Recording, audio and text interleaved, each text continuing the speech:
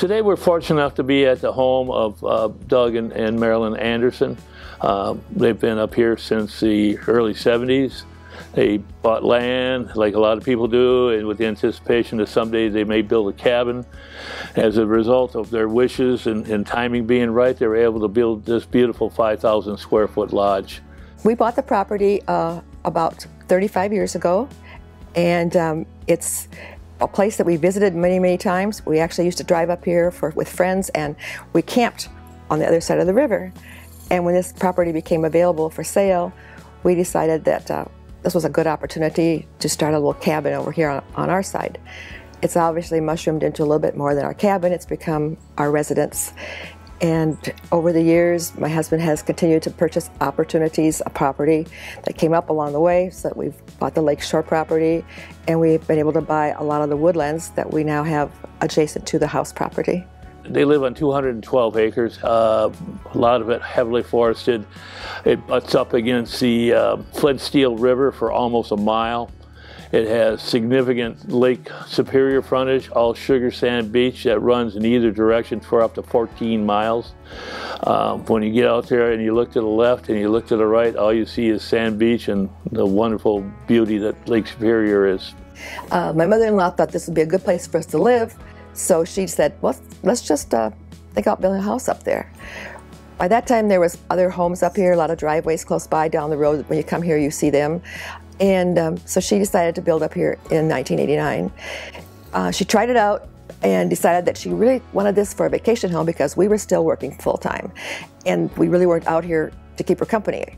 So this became a vacation place for a few years and in later in the 90s we all got together and agreed that we could we could all really enjoy having a home out here and staying out here as a family.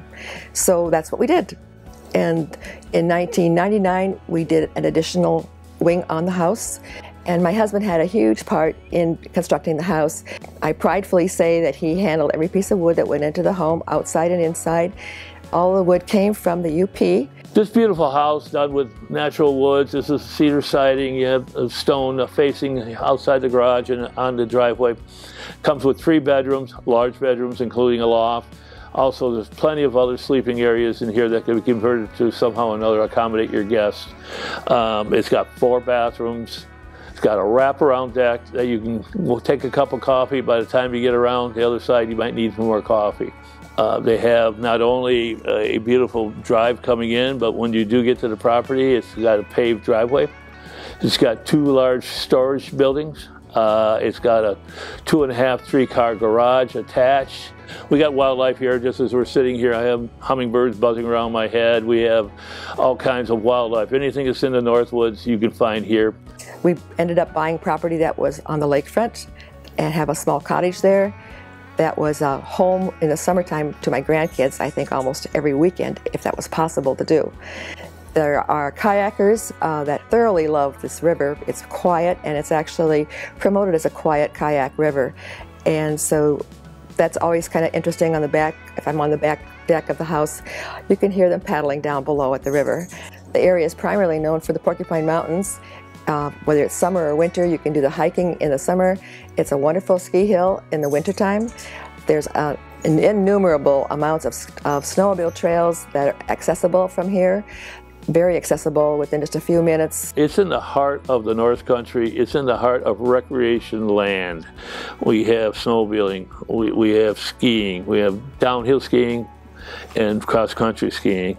You have, in the summertime, uh, ATVs, you can have mountain bikes, um, walk the beaches, fish, hunt, um, mushroom, uh, watch wildlife, take photography. There's so much to do here, and this campus is perfect because you're at the end of the road. You're not going to have traffic going by your place. It's your own little paradise. If you live here, you are living in the most beautiful place on earth, and your neighbors that you have all have the same feeling. It's the kind of place everybody would like to live in.